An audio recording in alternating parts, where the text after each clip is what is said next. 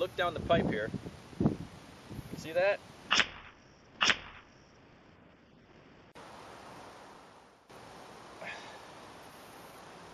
Hey guys, I'm not going to spend a whole lot of time on things that have been shown so many other times.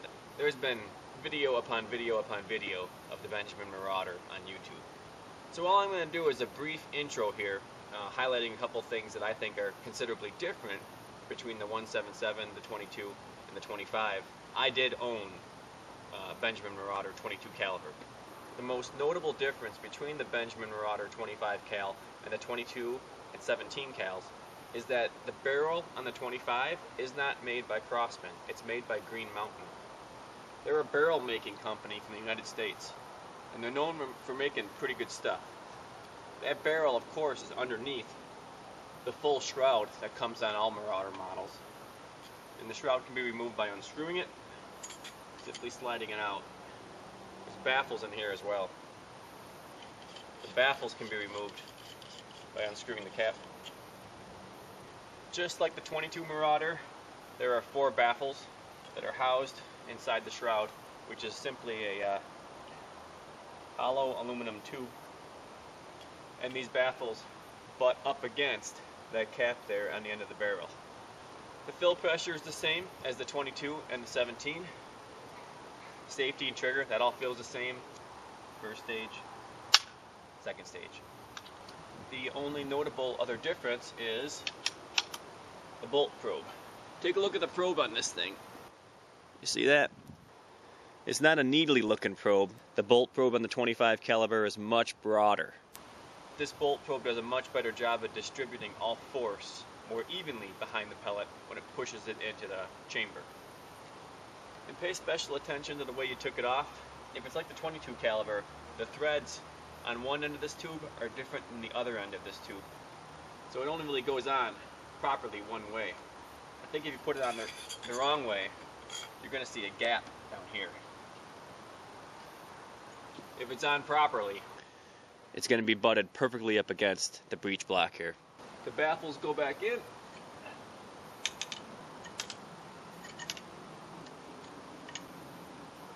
And there is this O-ring that goes, fits in there on the fourth baffle to add some tension when you screw this back in. Not a lot, just enough to keep all the baffles uh, secured. Finally, the most notable thing, the difference between this and my 22. This rifle does a lot more recoil.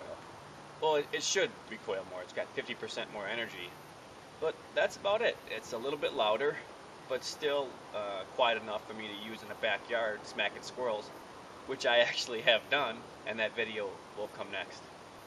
And those are the main notable differences. Green Mountain barrel, more recoil, bigger caliber, and the bolt probe is wider for pushing in the bigger pellets. Okay, I'll keep this review moving. Uh, the chrony test next, then we'll go out to the range and we'll follow it up with a little bit of hunting at the end. Uh, nothing through the scope cam, but I did want to get an idea at how hard this gun can hit prey. Usually I try to keep hunting and the gun review separate, but this gun absolutely is a hunting rifle. Uh, it uses a lot of air, it slings a lot of lead, and you're not going to be buying this if you just want to do some target shooting at the range. This gun absolutely, in its blood, is a hunting rifle.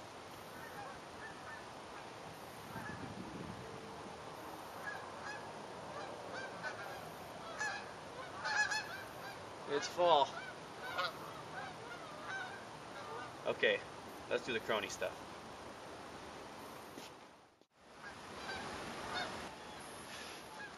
Okay, chrony set up here. Marauder is charged to 3000 psi. This is all factory settings on the gun. I haven't changed anything. I'm just going to determine the best fill pressure for the gun. As mentioned, this is a 25 cal. These pellets are big. I want to show you these. Just look at how much lead you're slinging with these 25 cals. I think that's an 8 grain pellet, Premier hollow point on the far left, a 14.3 in the middle, 22 cal, and on the right is that Benjamin 25 cal pellet. When we get down here, we're going to head out to the range, and there at the range we'll test accuracy at 25 and 50 yards. 100 if it's available. I doubt it is. There's probably still some straggling deer hunters who don't have their rifles set in just yet. And you guys all know how to load these Benjamin magazines by now. It's been done a thousand times on YouTube. Twist that around, lock it in place, drop the first one in, stop it with your finger underneath there. Then once that's uh, once you move the plastic back off there, there's spring tension on that, so now it'll hold it. And then you just drop them in one by one. That's it. You're all set to go.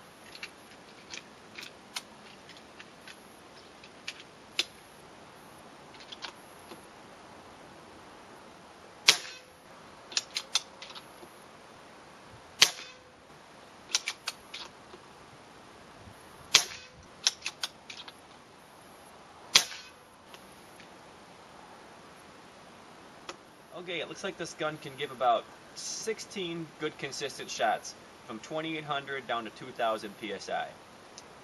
So, out to the range we go. Her up to 2800, shoot her down to 2000, and see what kind of accuracy it can give.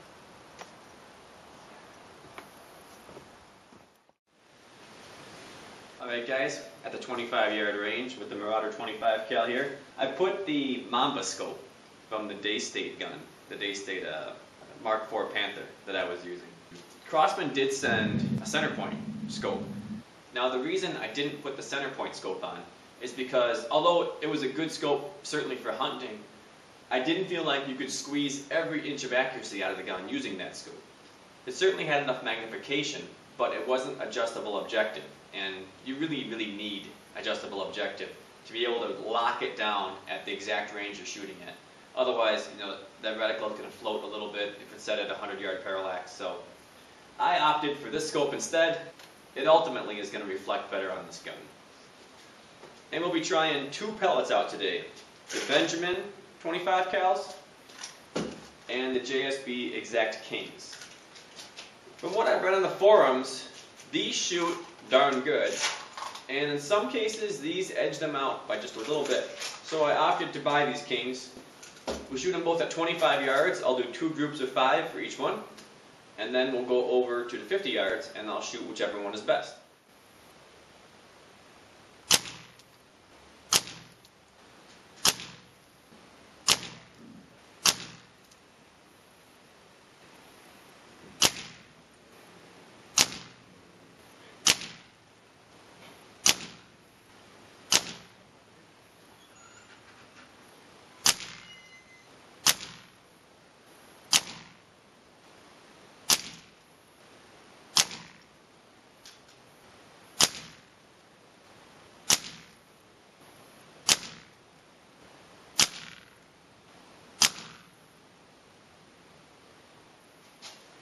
So here's our target.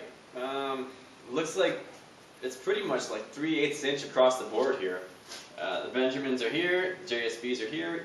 Nothing really shines as being the brightest, so I think we got to shoot them both at 50 yards. Like all my reviews, I want to make it clear that I just am shooting this gun out of the box. I know a lot of guys would clean these things right when they get them, and I'm one of them, but I started my review process way back when without cleaning them, just shooting guns out of the box, that's what I'm sticking with. That's what I've done here. Okay guys, here we are at 50 yards. This will be our target. I'll shoot two groups of Benjamins here, two groups of JSBs here, and whichever one we think is the best, I'll put one more group on the center target. I hope by now you can trust that I'm a good shot because I can't get the scope cam to agree with this scope. The reticle on this Mamba scope is so fine that the camera will not focus on it. So I'll take that camera and I'll set it up downrange and you can see the groups form for yourself.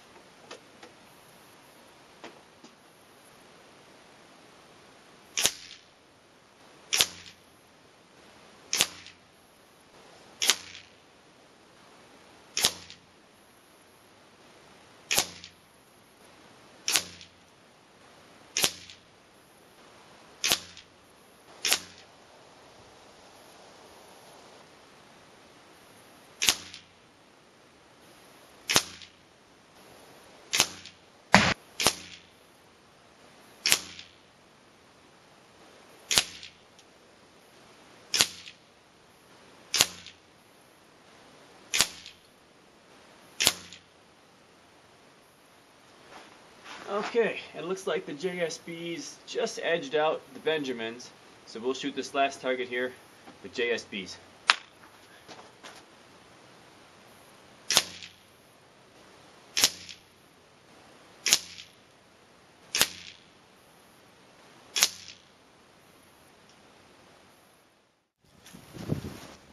Alright guys, let's take a minute to talk turkey about this gun. Full disclosure, I once owned a 22 caliber Marauder, and that gun was incredibly pellet fussy. Um, after trying 20 pellets or more, the Beeman Kodiak was all it would shoot. That's it. I even sold it after I got it tuned up by a professional tuner because I was just so frustrated with trying to get it to work. When I did sell it, it worked fantastic, but I had already been soured on the gun just from trying to get it to work so much that I just I didn't want it anymore. This gun shot both pellets that I put through it remarkably well. As I mentioned before, I did not clean this barrel. I didn't do anything to it. I took it out of the box and started shooting it. I just think it's really remarkable what Crosman has done here. They've absolutely put together a very, very awesome hunting rifle. And to demonstrate, um, here's this Marauder's first kill. Uh, it's a feral pigeon, and uh, the damage done to this bird is just devastating. And in this wind today, I had to hold about 10 inches to the right of him. I'm behind this barn right here. The wind is actually from my back at about 15 knots. So I had to hold about 10, 12 inches to the right of him. It hit him right where I was aiming, right in the neck where I always aim for pigeons. And he just helicoptered down. The wind blew him. That's what made him helicopter. So the pigeon circled around, came back, and I just whacked another one. Center mass. He went down like a ton of bricks too. Kitty grabbed him when he hit the ground. So I'll give this guy to one of the cats. It'll be his Thanksgiving feast. Bottom line, what you're looking at with the 25 cal Marauder is 16 very consistent, very accurate shots. What an exceptional gun in this price point. You know, I hate to say this is a budget gun or something like that. Um, it's a modest price for a Charge-O-Matic. But the truth of the matter is, um, to me, the proof's in the pudding. This gun shot great out of box. It was putting pellets on a dime at, ooh, there's a pigeon. Another one's coming in. All right. All right, I can save this chatter for later. And we'll go put the scope cam on and see if we can't pick one off the top of the grain bin.